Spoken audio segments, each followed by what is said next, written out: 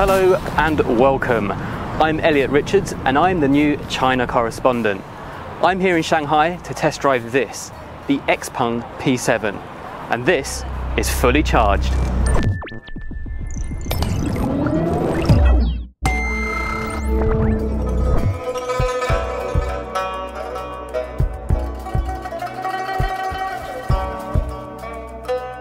Before we get to the P7 review, let me give you a little bit of context in about 30 seconds about me. I've been living in China for 12 years now and I've been following the whole EV, sustainable technology arena in China for a number of years. I've driven everything from a NIO to the Xpeng to BYD and today we're going to test the P7. We're actually sat in my Xpeng G3, the, the very first car from Xpeng and we're going to do a review on this car in another episode soon, but let's go and see what the P7 is like. I was lucky enough to get two goes in the P7. First test was around a predetermined track, then later on in this video I get to go on public roads to really see how it feels and handles in everyday conditions. Oh, I think you can see from the profile here, it's quite a good looking car. Um, 19 inch wheels, huge range, 706 kilometers NEDC, mind you, and a very attractive package. This really does take Chinese cars to the next level. And this is from a company which two years ago didn't have any cars out. So this is the front end of the P7 and this is a whole light bar along here. Now you can program it uh, inside the car, there's a number of different settings uh, to light up, you know, like do this, like KITT in Knight Rider, uh, but the actual proper lights are here. Uh, these are just fancy lights, I suppose. Um, the, the, the front of the car is very similar to the G3. The front of the G3 is um, quite similar, the black area. Um, and there's actually front boot space, uh, but they've got 440 litres of boot space in the back. It's very deep, um, and you can fit a lot of stuff in there. A couple of other things is this has a liquid cooled battery, um, and it's got something called Sentinel mode, very similar to Tesla uh, in that respect. Um, and I think you'll agree that this is a very good looking package. Now, the, this is the performance version. The basic version, basic version, um, still has the same battery pack. Um, I think it's only got two wheel drive instead of four wheel drive. Um, and essentially, that starts at about £26,000 for this. So, beating the Model 3 over there, and really very competitive uh, value for money. This is the performance version. This is £36,000, that's four wheel drive, um, extra horsepower. It's got about 460 horsepower in total. What this car is really set up for is the inside.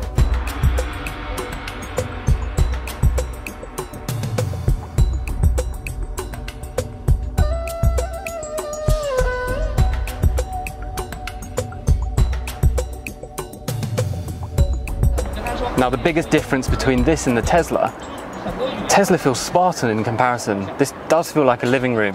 Now I've been told, you know, this screen does everything. You know, I won't go into the tech today, but this is definitely an upgrade from my G3. Um, and it's just a very comfortable place to be. Now it's got LED lights all the way around, which can be changed.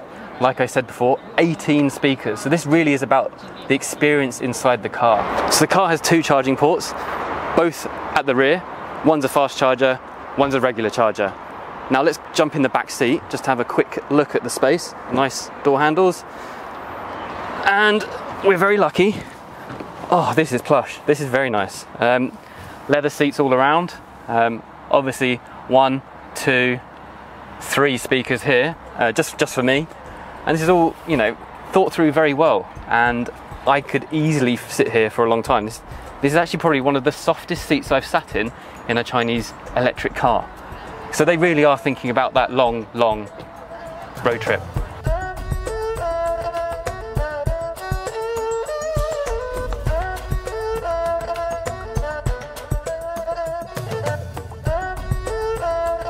One thing a little bit different about China is how they're selling the car. This is an exclusive customer preview day and there's a Tesla Model 3 behind us.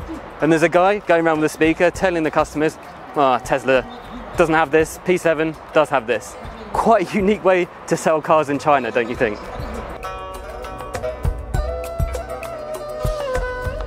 Let's talk about statistics. Now this car, 706 kilometers NEDC range, 80 kilowatt hour battery pack, 0 to 100 in 4.3 seconds, if that concerns you. And I just tried it out and it, it's quite fast and very comfortable. Brembo brakes, fast charging. You can charge, you get 120 kilometers of range in 10 minutes if you use the Xiaopeng charging network. Full battery takes uh, about an hour and a half using the, the, the fast charger.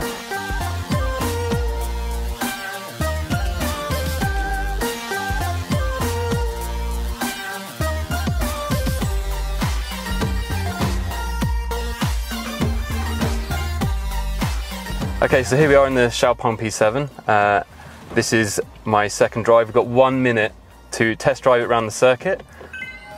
We're in sports mode. So here we go. Put the foot down. 4.3 seconds to 100. Brembo brakes at the front to slow you down. There you go. That was quite quite exciting. Then we've got the uh, sat nav going. So this is an advanced. Let's do a slalom.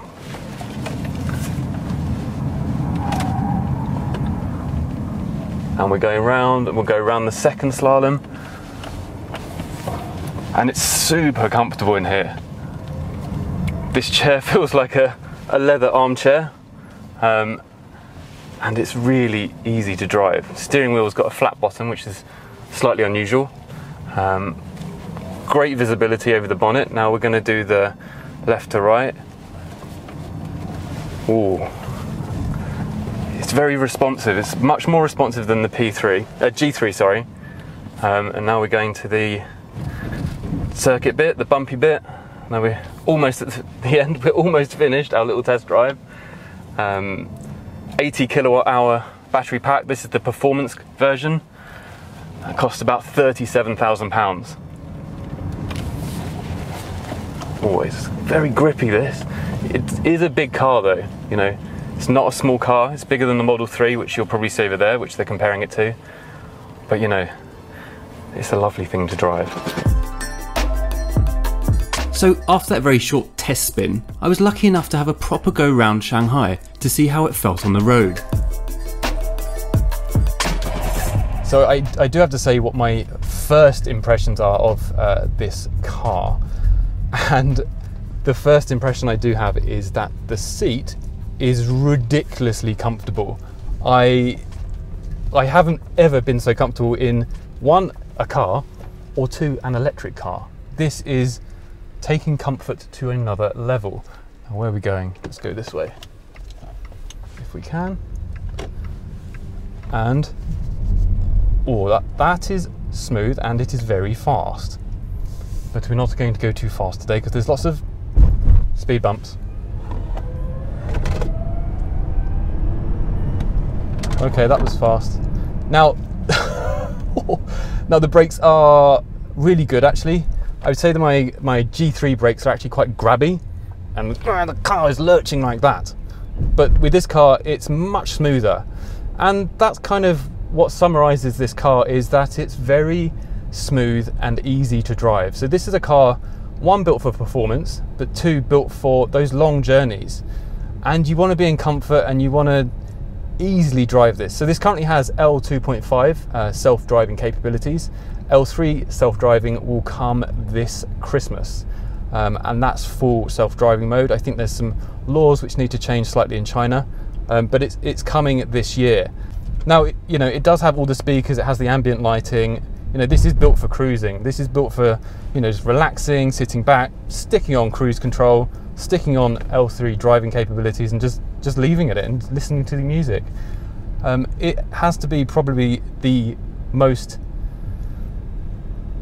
uh, refined electric car that I have been in. No, I'm, I'm struggling to think of superlatives here because it is incredible value for money when you think about it. So the base version, this is not the base version, is at £26,000. So 20, 220,000 RMB. The, the version this is, is the performance version, is 333,000 RMB after subsidies. That um, is still very good value for money and really does put it in Tesla Model 3 um, category. I've got a straight bit here. Oh, sticker's falling off. But it's not it's not so fast that I feel like sick. It's comfortably fast. It's rapid, very rapid to overtake. One thing I would say, this is quite a large car, and you know I think it is bigger than the Model 3. So not for me, not ideal. I live in quite a tight um, housing compound in downtown Shanghai. You know, this is a big car. Um, it's going to be relatively difficult to park. However, it does have the self parking ability. So that does make it very attractive. I mean, so really, what, what I'm saying with this car, so this is, you know, this is a car produced by a company who most people have not heard of, who have only been around for a few years and have produced a car of this quality. Now, I drive the G3 as I've said multiple times, uh, and I haven't had any complaints so far. I've had 5,000 kilometers, nothing's broken, it drives fine, it's super comfortable. There's really nothing to complain about or worry about. And I think this goes such a long way to changing people's perceptions about Chinese cars and Chinese electric cars, which is really fantastic because when this goes to Europe, this will be one of the first EVs to go to Europe. And I think that it's so important to make that good first impression because every single manufacturer, Chinese manufacturer who's gone to Europe, has failed. Every single one. There hasn't been a single success story. But I think with this car, this really changes the game and this really does bring another option to people who are looking for a electric sedan with a long range. You know, I, have driven I've driven a lot of um, Chinese electric cars over the years. You know, from the the very high end sort of NIO cars, which are about fifty thousand pounds, big big jeeps with uh, five six hundred kilometers of range. But this is probably the the nicest experience in here. Now, I'd say in terms of like the chassis, uh, it's it's really very responsive and quite stiff. Um, and you can really feel that the batteries are all on the floor uh, and it really keeps it planted to the road. Um, I, you know, I'm, I'm, struggling at the moment to find much to criticise about this car, especially for that, that money. It's just, you know, this is £26,000.